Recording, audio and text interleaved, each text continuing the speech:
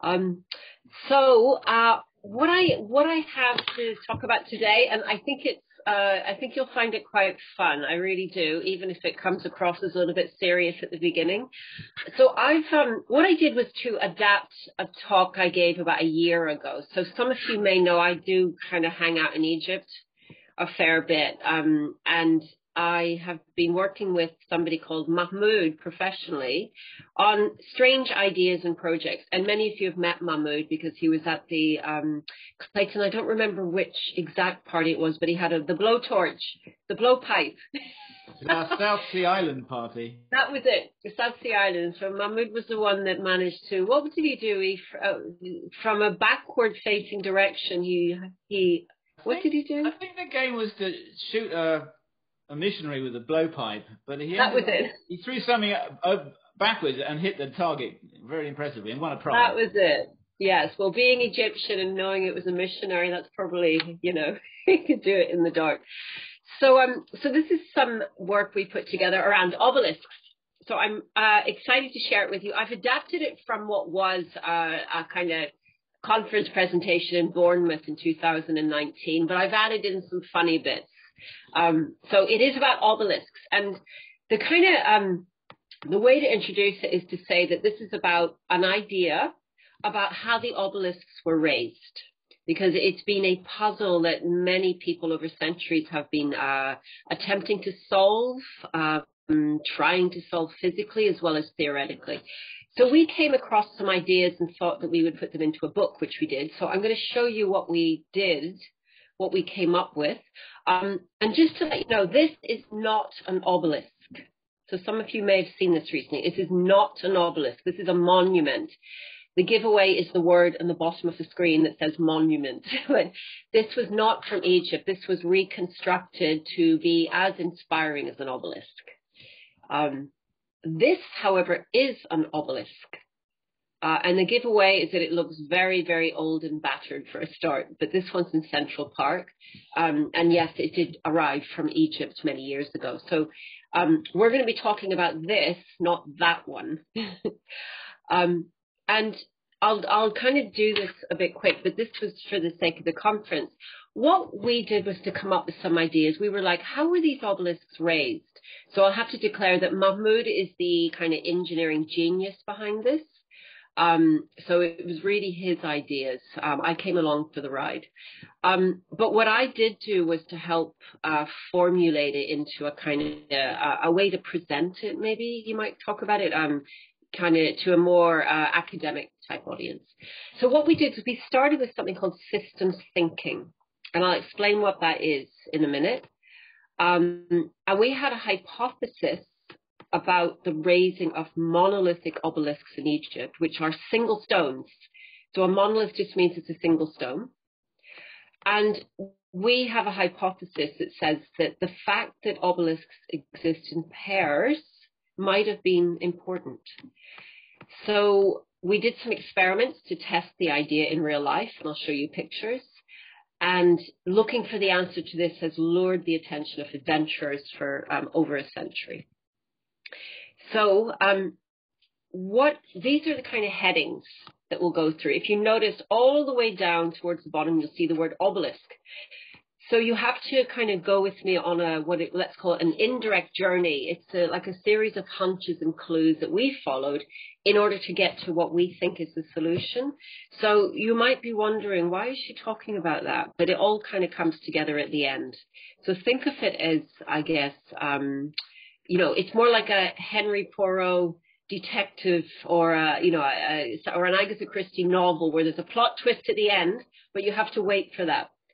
Um, so that is not Mahmoud on the left and that is not me on the right, but they were kind of appropriate characters to present the approach we took, which was, I think, I think a bit unscientific. I'm, I'm an architect. Mahmoud is more of an engineering mindset, but we certainly don't have PhDs uh, in Egyptology. However, we do have uh, a lot of curiosity. So where we started was the first clue was this idea of circularity. And it's terribly popular right now to talk about circularity because um, circular economy is the big phrase now. How do we make an, an economic system that minimizes waste and maximizes resources. So this is all sustainability.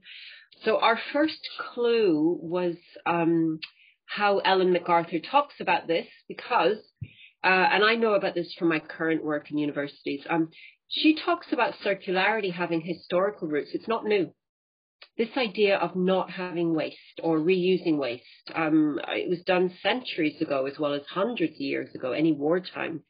Um, but this idea of cycles is ancient, and it was the mindset of the people that held this kind of circularity about reuse, don't waste, don't pollute the environment. And it's a kind of just a very practical approach, you might say. Um, and the other point of this is that we started to see that these ancient civilizations in particular not only had this as a mindset, but they had a very cyclical way of thinking, which is a little bit like circular thinking, but this one is cyclical. Um, and I'll show you where this connects to Egypt in just a minute. So kind of non-linear. So just in short, this is what circularity is about in modern day time. How we don't do this.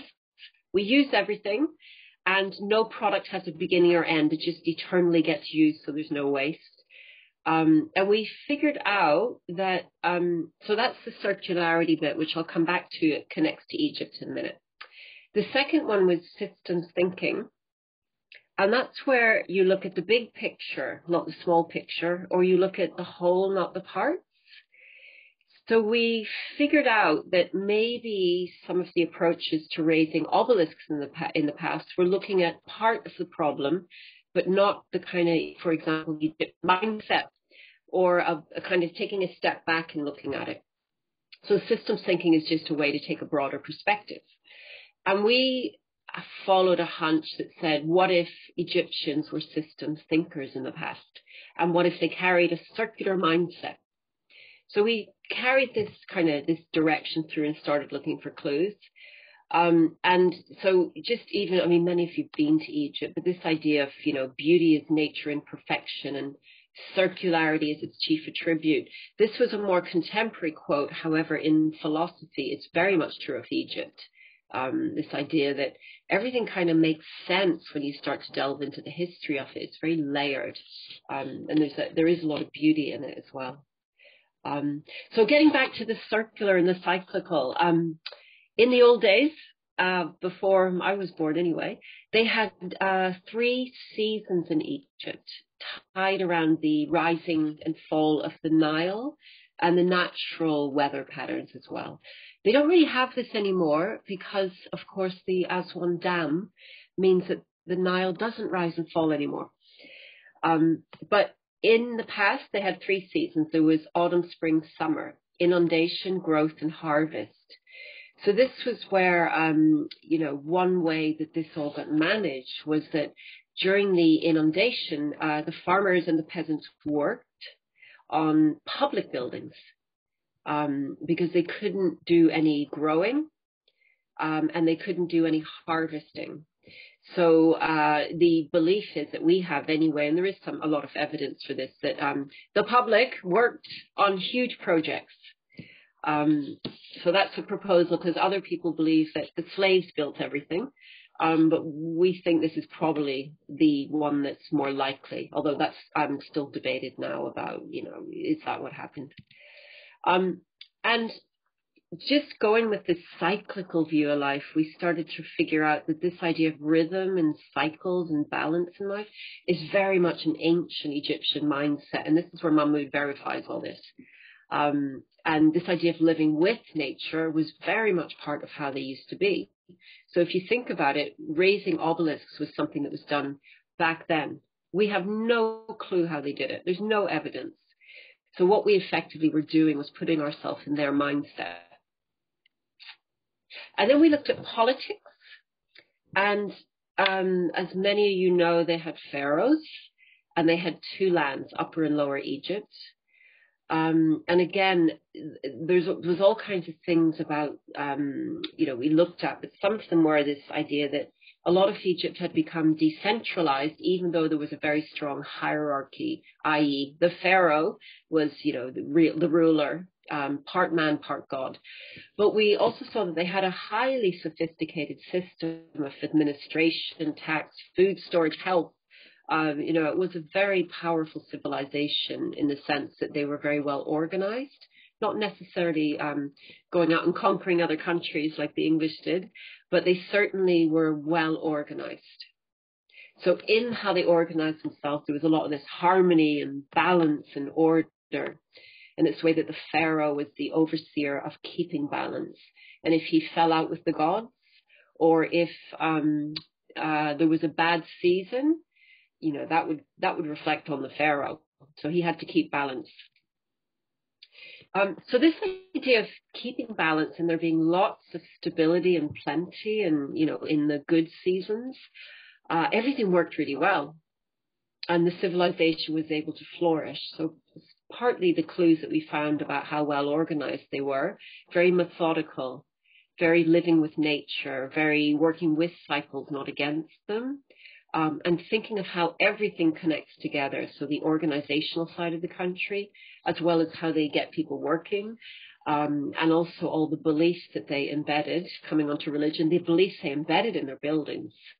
Um, so then we looked at, you know, in their belief systems, they had all kinds of stuff to do with duality, like the Upper and Lower Egypt, um, and the fact that many of the gods, as such, the uh, uh, the netters, had a had a kind of male and female version, or a positive and negative version. So a lot of things came in pairs.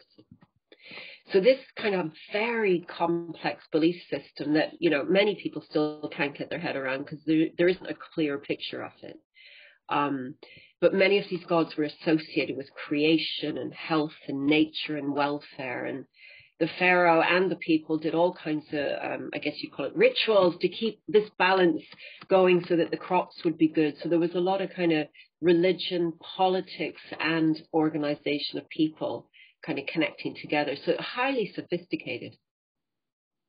And then, of course, we have the famous Maat, who is the goddess of balance and also overseer of social justice and righteousness and standing up against conflict and disorder, which was, you know, that would be a horror to the average Egyptian to have disorder.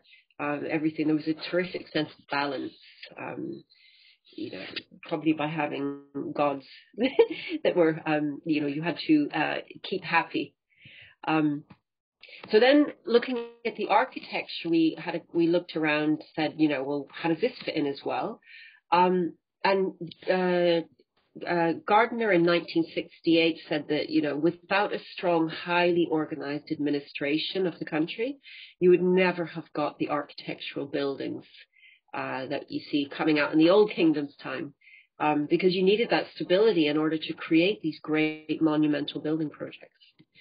Um, so we were kind of, you know, starting to build these words: culture and curiosity, material and symbolic, duality and balance, um, and the fact that uh, these monuments were acts of national pride, uh, getting uh, people involved in building them and trying to outdo each other on what would be each pharaoh doing something more remarkable than the one before. So bear with me because we are getting to obelisks, I promise.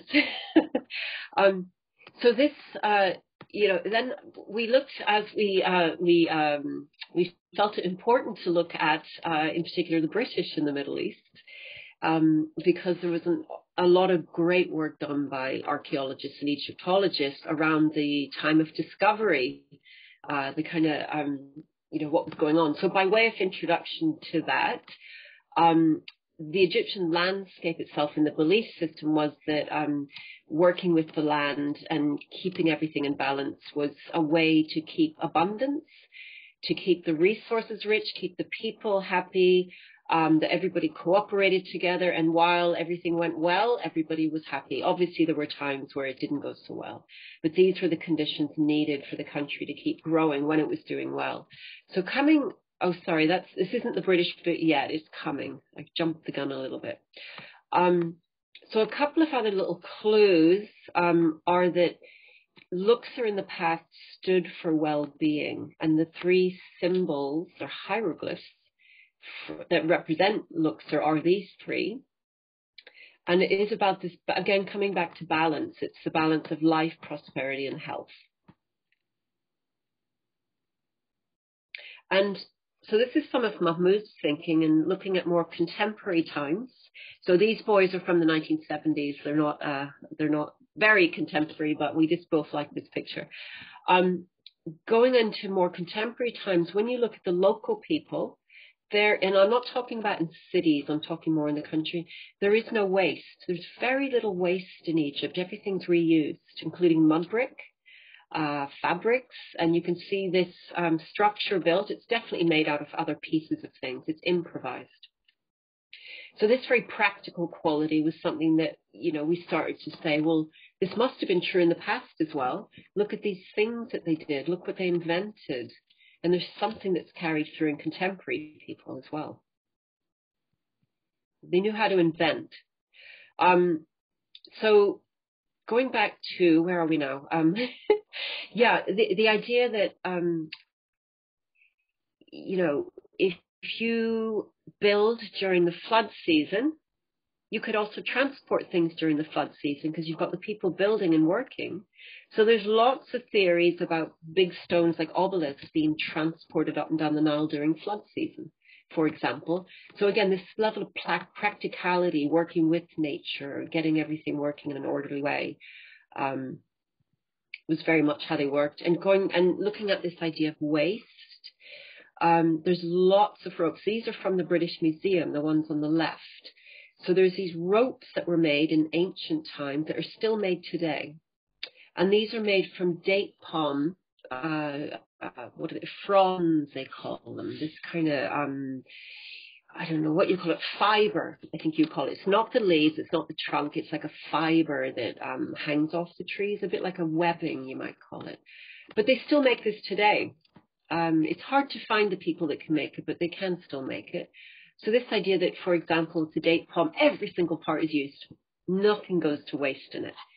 Um, so anyway, we're about to get into the obelisk. So um, bringing everything together, we were like, okay, everything's highly organized and highly interconnected. We've got nature. So I'm looking at the list on the right. We've got nature. We've got the seasons. We've got cycles. We've got the gods, the pharaohs, the people. We've got administration, celebration. We've got all these other aspects, including duality, materiality, circularity. Um, and then this kind of direction we were going in that, well, if they were systemic thinkers, that makes sense. They thought systemically. They thought about how, how every single small part fits into the whole so it all makes sense.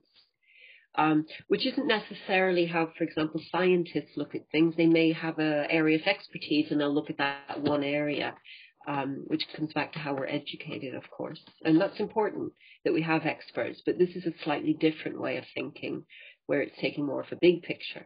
So we were saying, well, is this how they achieved everything? They just, you know, had it all, the thousands of years that they worked it out. Um, so what does any of this have to do with obelisks? Alhamdulillah means thank God. So we're now in the obelisk land. So this is in Karnak Temple. I know uh, many of you have been there. Um, so what this has to do with obelisks is that our first kind of insight, um, you know, and I have to give Mahmoud the credit for this, but I guess I feel very much part of the story now for lots of reasons. Um, the first insight was duality, how important that was in Egypt, in their mindset. If you put yourself in the past and you adopt the ancient Egyptian mindset and you look at obelisks from their point of view, you start to see it very differently from, from how we look at it today. So the first clue is that obelisks were almost always found in pairs. We don't see evidence of that because, of course, they're all halfway across the world now as individual obelisks. So it wouldn't occur to anyone. Um, it's like these are the only two photographs we could find of obelisks still in pairs, and even these are no longer in pairs. They've all been separated. They've all been transported to different places. So when you see an obelisk now, it's only a single one. So we look back and we, we, we did some research in not the British Library, but the um, the Egyptian Exploration Society. They have a remarkable library. So Mahmoud was in the UK at the time, and we dug out these old pictures, um, and these were the only two we could find from the past. And as I say, this doesn't exist anymore. Um, and then getting into more the, the British bit, um, Egypt was very unknown up until the, um, 1798, Napoleon hitting there. Obviously, there was a huge amount of time where, um, you know, it was a bit of a mysterious place. Um, and it was only after Napoleon, and then we get into the kind of the Europeans um, building it into their, uh, you know, must-see travel list if you're, you know, your grand tour, for example, but also the discoveries being made. For example, the Rosetta Stone and trying to figure out the kind of fun, the the kind of fascination with Egypt began um, around this time, partly led by what Napoleon was up to, um, and then the British wanting to also get involved in uh, Egypt, and then um, you know fighting over who gets what stone and who can translate what.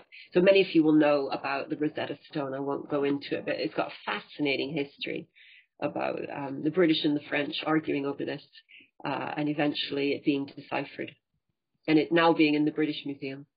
Um, so. Uh, I'm not 100%. I'm, to be honest, I can't remember why I included this, other than um, the British in the Middle East uh, uh, had um, a very rich uh, connection there because they also became fascinated with the monuments, uh, relocating them, uh, uh, t- taking things, discovering things, and sponsoring lots of digs, like the Tutankhamun one, of course. Um, so this collecting um, and discovering was, uh, you know, how all this uh, kind of new investigation of Egypt, the kind of chapter two came about.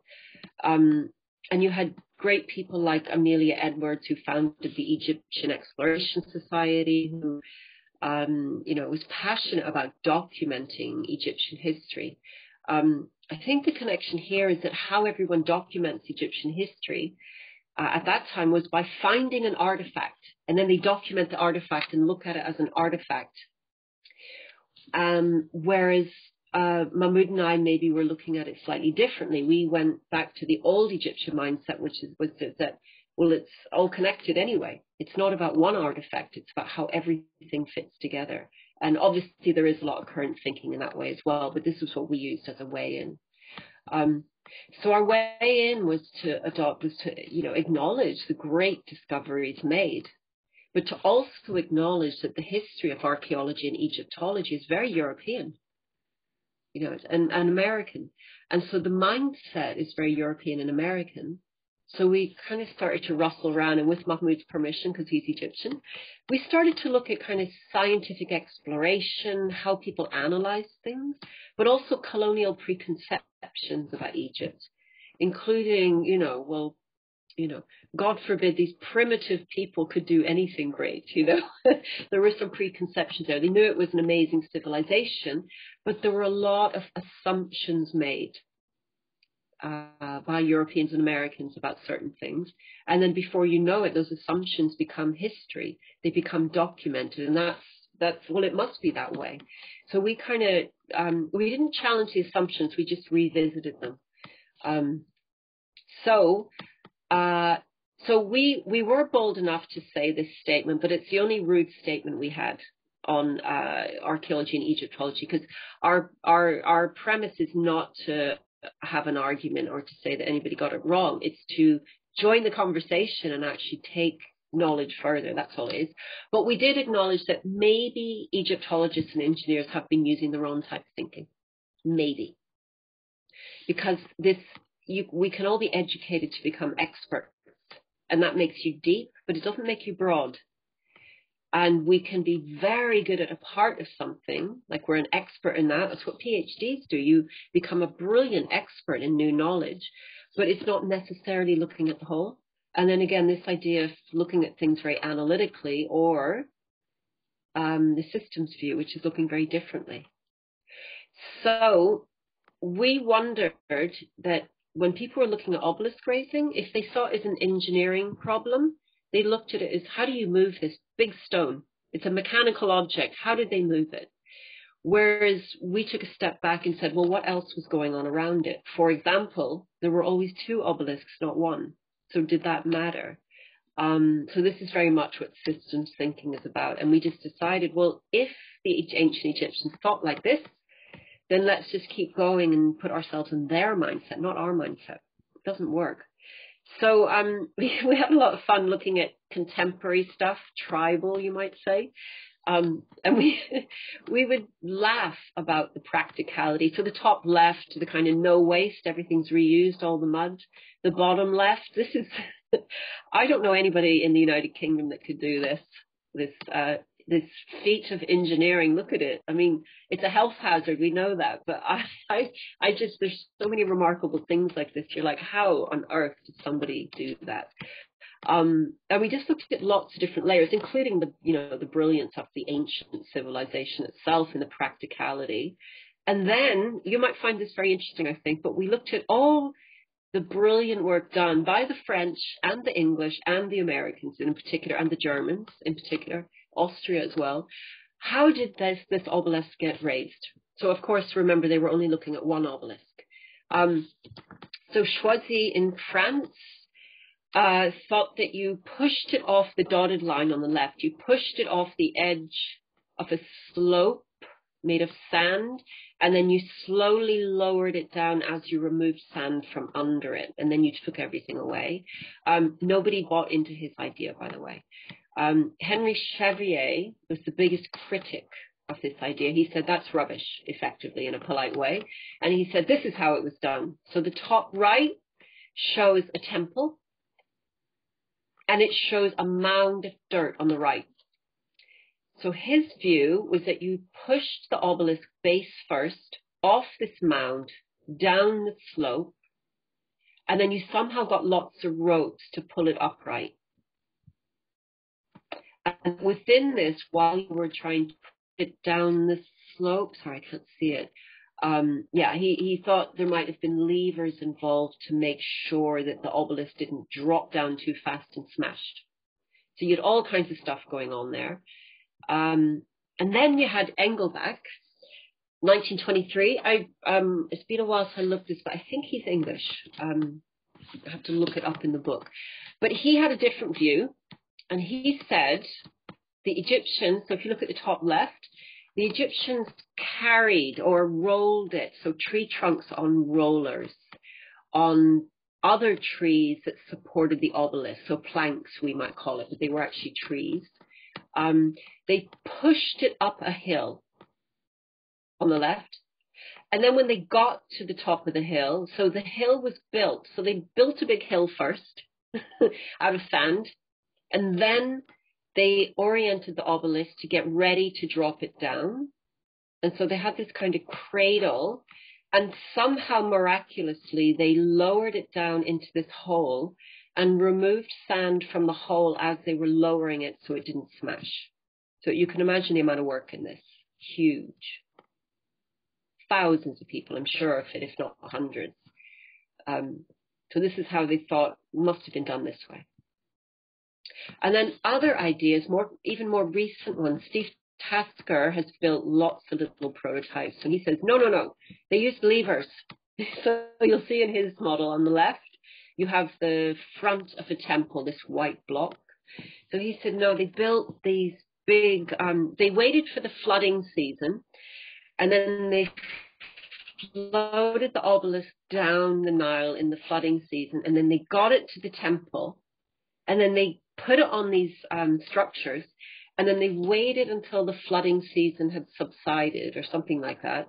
And then using all these levers, they levered it into place.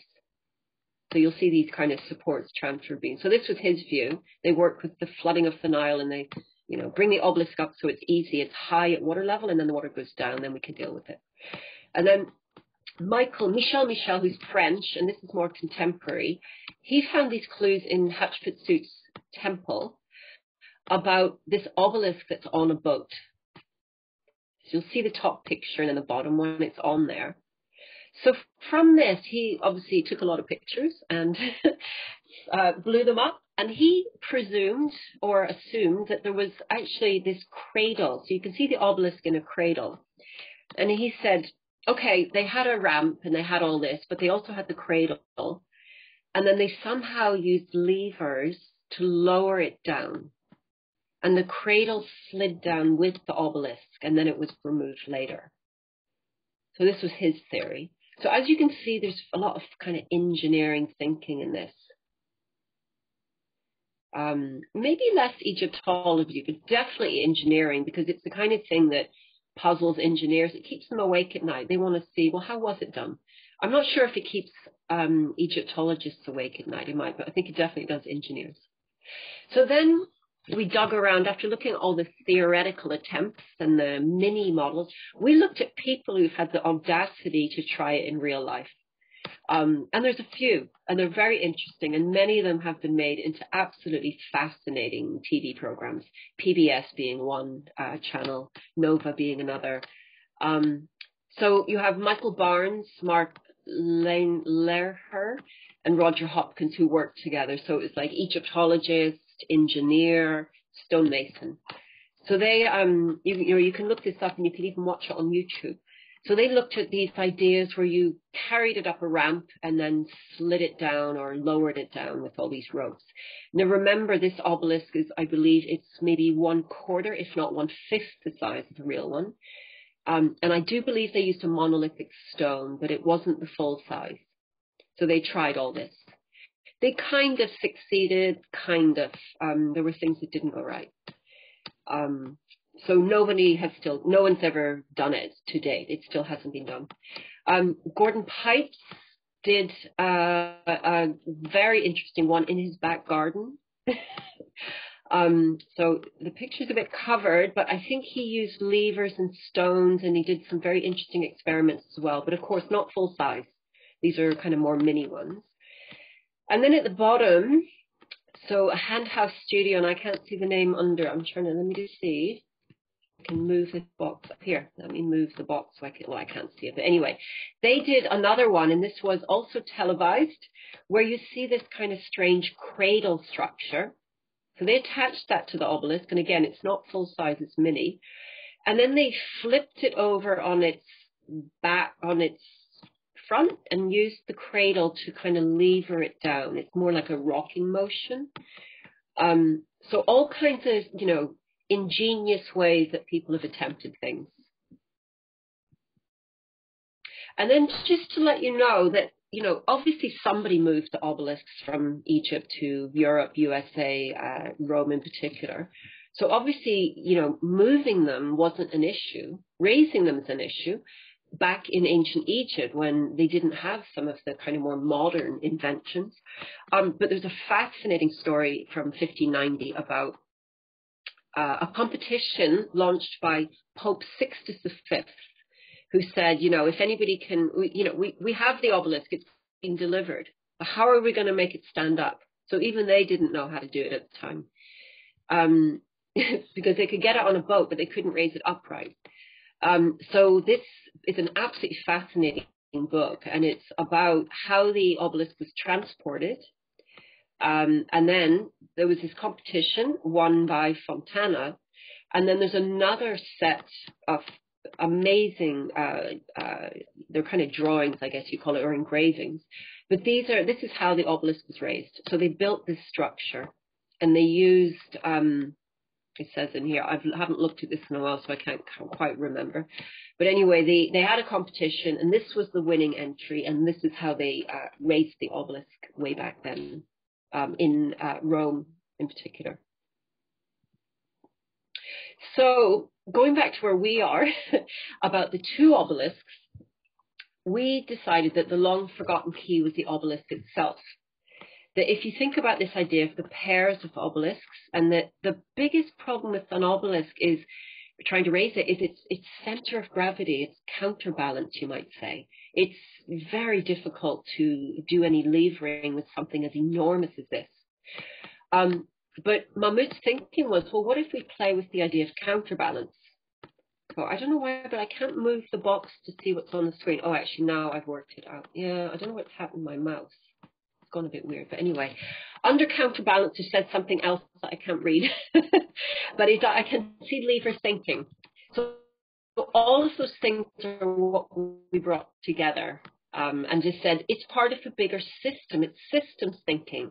The obelisks themselves are the way that they raise the obelisk. It's using the obelisk, the counterbalance of two obelisks. So in effect, what we're talking about is instead of looking at a small part of the system, i.e., one obelisk, we kind of stood, stepped back and said, let's look at two obelisks and see how would you raise them if you use counterbalance. So, and this was Mahmoud did this one with a team of maverick Egyptians in Luxor in his back garden. I hasten to add. One day we'll all go visit it. Um, and they set themselves these rules. We are going to raise an obelisk and we are only going to use materials available in ancient Egyptian times. So they couldn't use what was available in the Roman example, by the way. Um, I can't remember exactly what wasn't available. It was something that had been invented that we decided we, you know, it couldn't be used.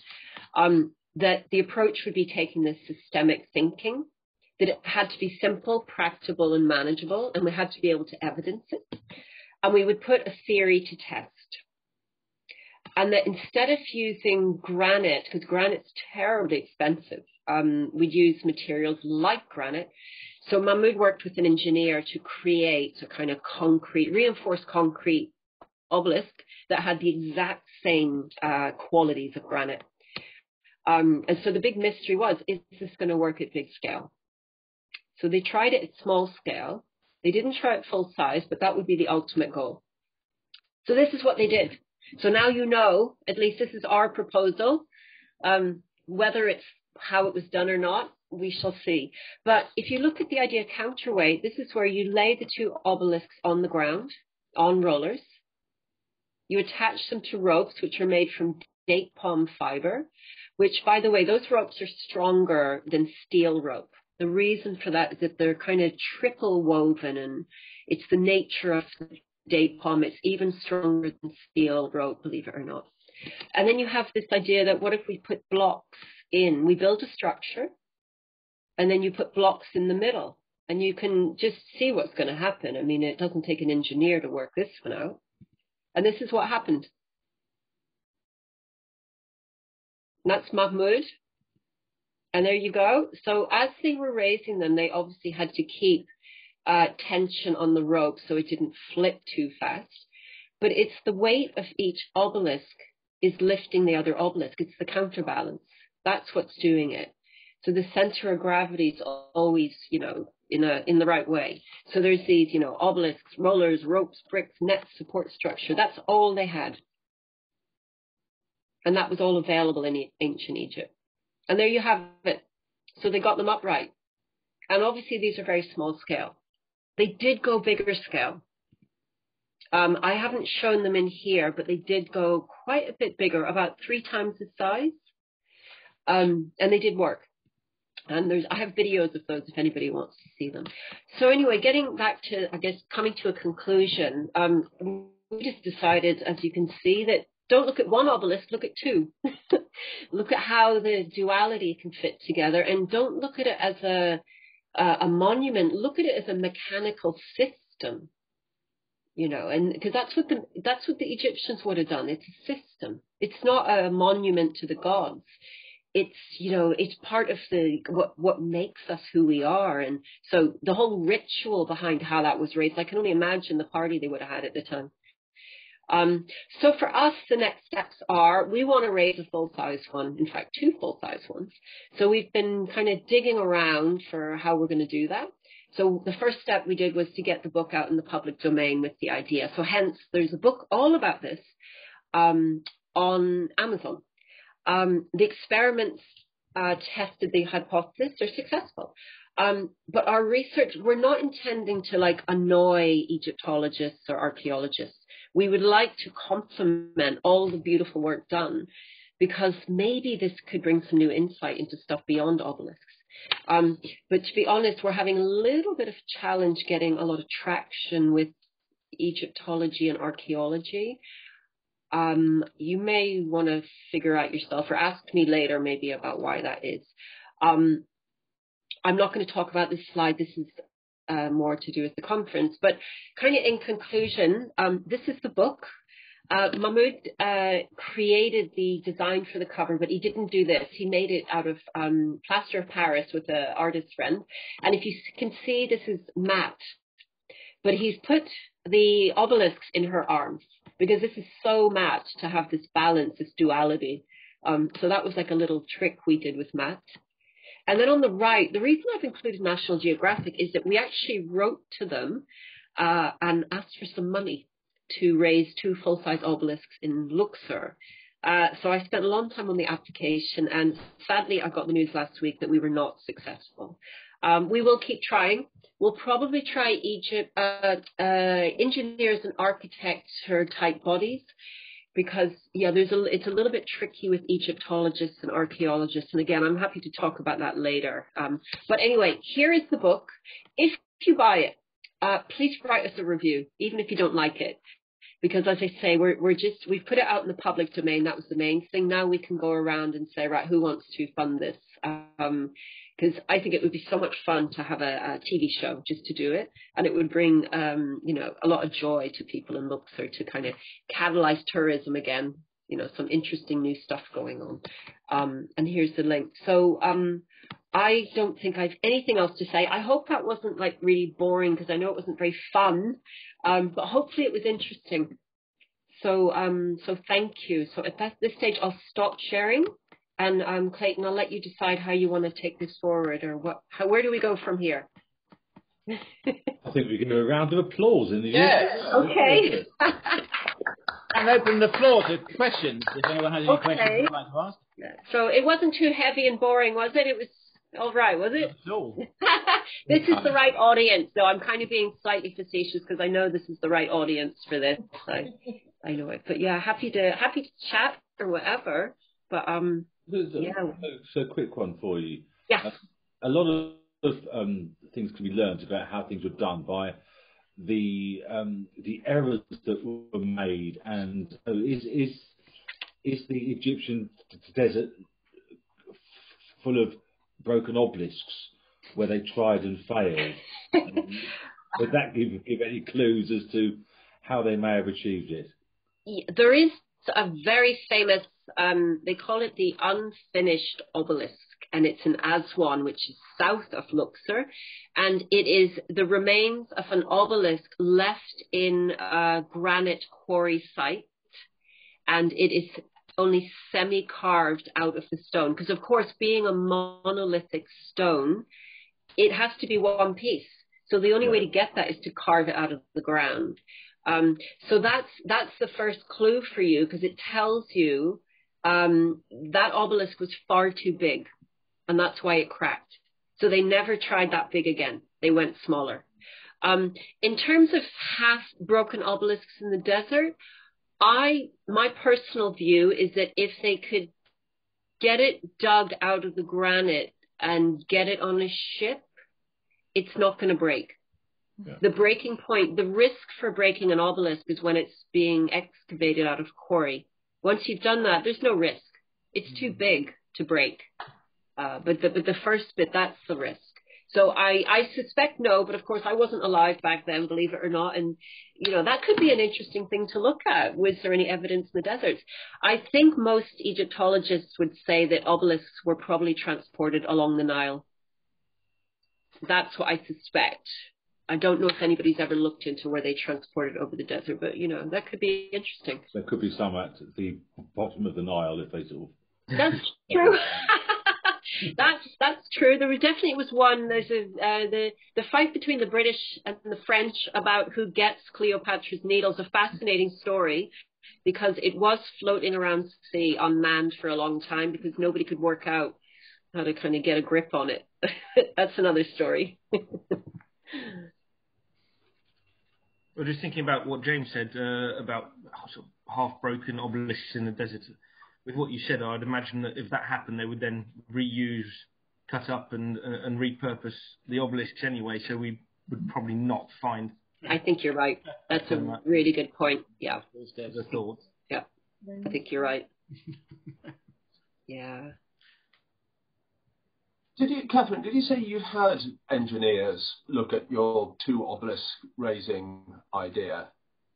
Um, uh, kind of informally in Egypt through, uh, you know, uh, people that are in uh, the local village as such or in Luxor. Informally, yes, because there were there was an engineer on the team.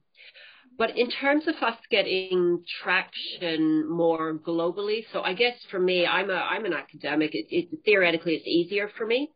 Mm-hmm. Um, and I, my observation is that I um, have been trying to uh, float this through kind of audiences, let's say, that are in the archaeological and uh, Egyptology communities, I'm getting no traction. In fact, Mahmoud and I are both getting doors closed to us. So our next step is to go the engineering and architecture route. Um, and obviously, I don't I don't mean to be rude about archaeology and Egyptology. Of course, it's fa- I'm very fascinated by them, but I think this idea is coming from outside their domain which might upset them. And also, it might upset them, just the idea. Or they might think it's a ludicrous idea. But in some ways, it, um, I mean, there are many stories I could tell, but now's not the appropriate form. It's probably for Mahmoud to tell. Um, but in terms of engineers, I'm yet to kind of step into that. So the first one would be to, I presented in Bournemouth at a conference. There were engineers there. They loved it. They loved it. And one of them put me in touch with Toby Wilkinson, that some of you will know, because he wrote a book uh, on the Nile. Um, so he is uh, slightly more. Oh, I don't have to be careful of my words because I don't want to be rude about um, the professions. Um, but he's someone that does seem a little bit more open-minded um, to engaging in the idea. Um, but the next step is to dig up some, you know, engineers um, and see where the right place to do that would be. TV pro TV as well. That's the other one. TV and then engineers. Hmm. I don't know if you've seen the, the chat message from Tori.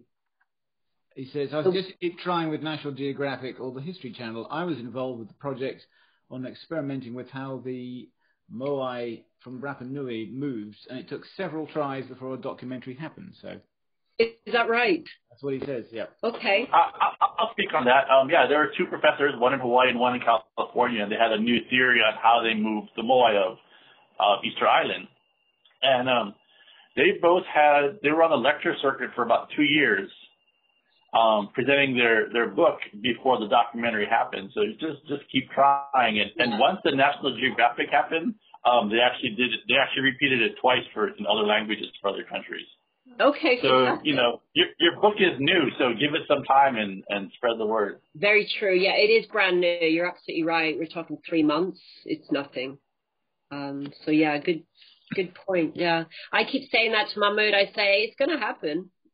He wants it to happen yesterday because he's he's known about this idea for over 10 years.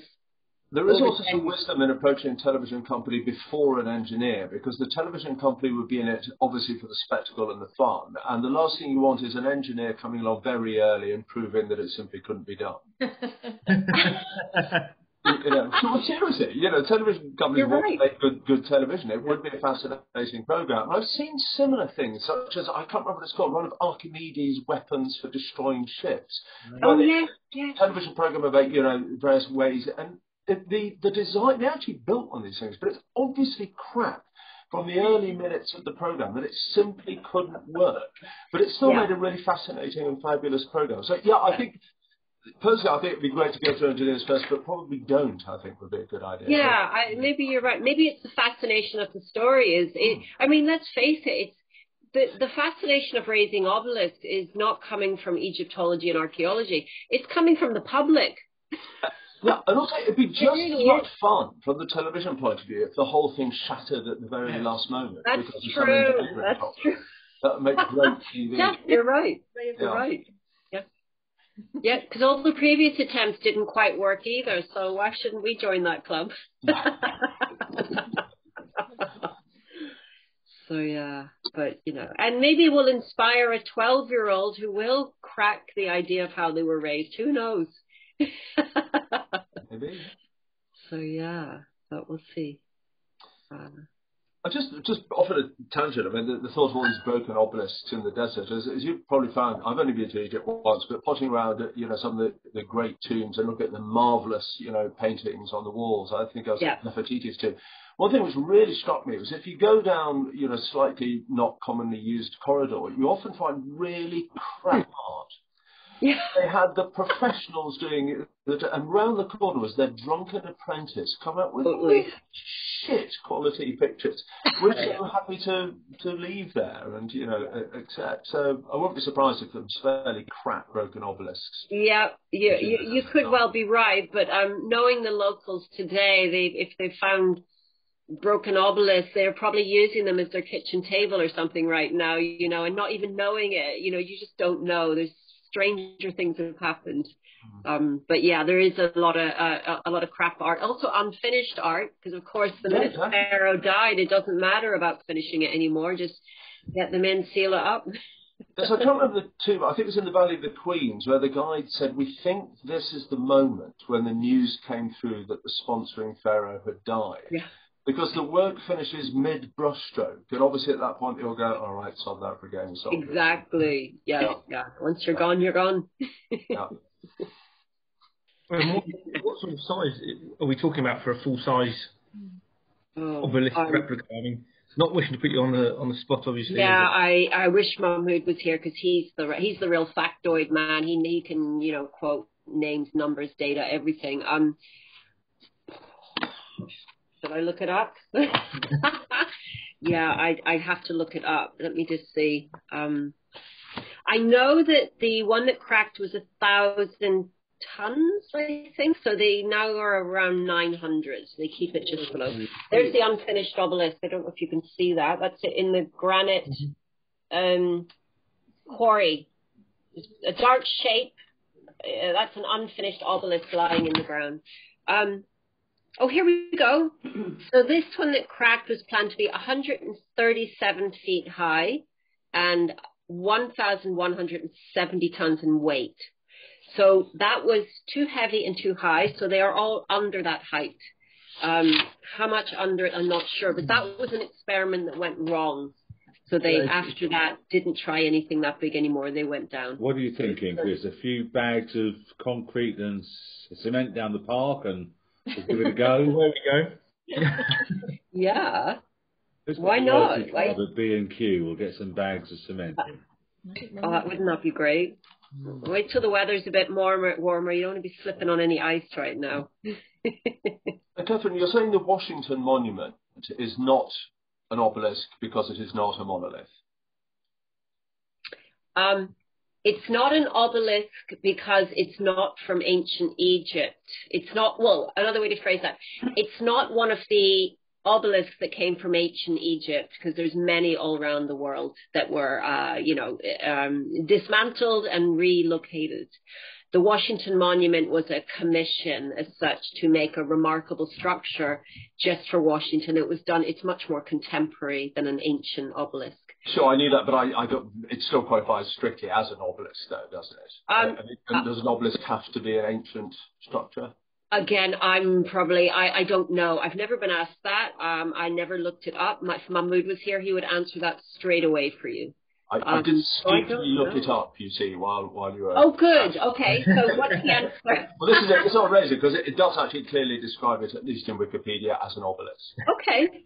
Is it Okay. made in sections? Did it say? Sorry, um, it made it didn't, sections? I only read a little bit. It didn't say in sections, but it said made of several materials. So I, I you know, it's obviously not a monolith. I assume. So yeah, it's not wondered a if it made it monolith. easier to erect. That's all. Sorry, Clayton. I just wondered if it would make it easier to erect if it was in sections. Uh, I would imagine so. Yes. Um, I, I generally don't. I don't know whether it, actually whether it's constructed in sections or uh, erected in sections. I don't know. But, Is it uh, faced brickwork? I Uh, it, it- when you look at it up close, it's blocks. okay. Okay. I I don't know if you want to answer that, but because you're on Wikipedia, maybe. Well, according to the Just move. Alright. according to the Encyclopedia Britannica, yeah. it is an obelisk is monolithic. Okay. All right. Well, I've Monolithic learned something. Structure. And we have a fight it- between it- Wikipedia and it- Encyclopedia Britannica then. It, that is, they consist of a single stone. Wow. a modern Okay. a modern obelisk. So they seem to be dividing it between a real obelisk and a modern obelisk. Washington Oh. Monument Ev- is, uh, everyone is blocked. everyone is right. Everyone is right. So what's that about the Washington Monument? The Washington Monument is made of blocks. It's not a solid piece of stone. Right. It's, it's it's almost like brickwork that's then been faced. So you can see There's it's much easier to erect. Yeah. Faced with aluminium cladding, so there's going to be an extremely expensive project in a few years to strip it That's all going to be off. that flammable cladding, yes, wasn't it?